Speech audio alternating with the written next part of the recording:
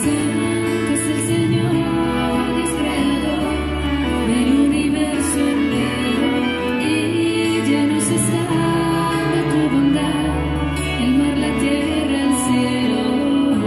Osana, Osana, Osana en el cielo, bendito el que viene